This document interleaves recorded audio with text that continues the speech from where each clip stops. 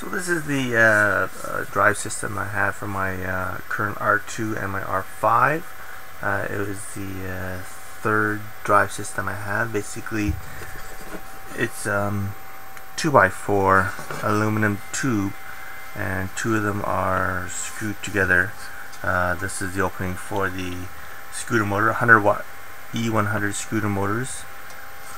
This is the three holes for mounting the motor, the hole for the wheel.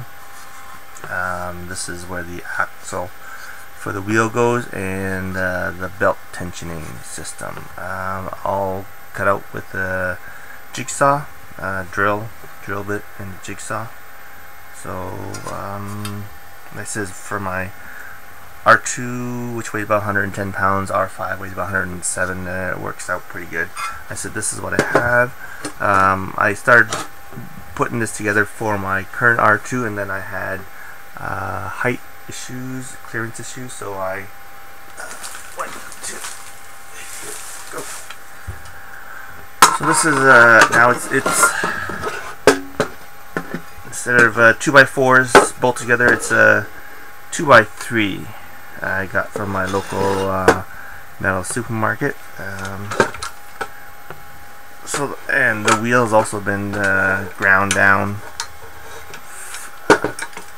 so that I reduce my white right height from my uh, foot shells. Um, it says uh, right now three holes for the uh,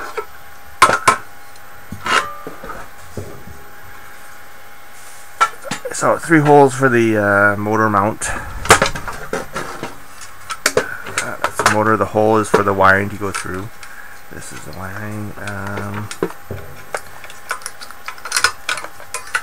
and you can see the uh, here the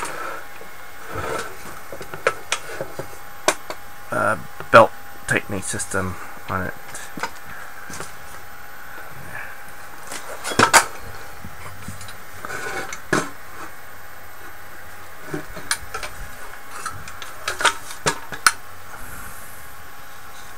Again cut out with a, a drill to start it off and then uh, metal jigsaw for the openings. You can see um, a channel or actually a square tube cut open for the channel. And you can see my ankle is basically uh, one solid chunk to give it uh, rigidity, strengthen the frame. Um, the leg is a 2x4, not the correct shape because I couldn't get the exact channel at the time, but uh, that's the way I'm going. And it says um, you do have to be aware that uh. Uh, th like I said, this is four inches right here.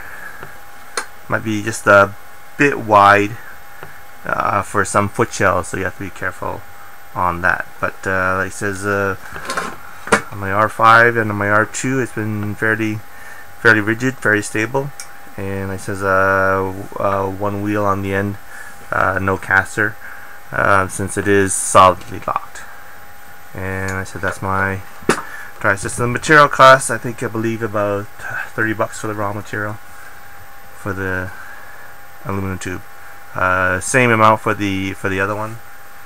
Um, that was about 30 bucks also for two, for left and right. So, and there you have it. Bit of work. Um, uh, to to cut it out with the metal jigsaw. Uh, as long as it had new blades, actually it didn't take too long. I think I did this in in two nights, and uh, for both sides, and uh, same with this, about two nights um, to do both sides. So, um, and it says it, it's a bit rough in the cuts area, but it's not seen, so it's okay. And that's that.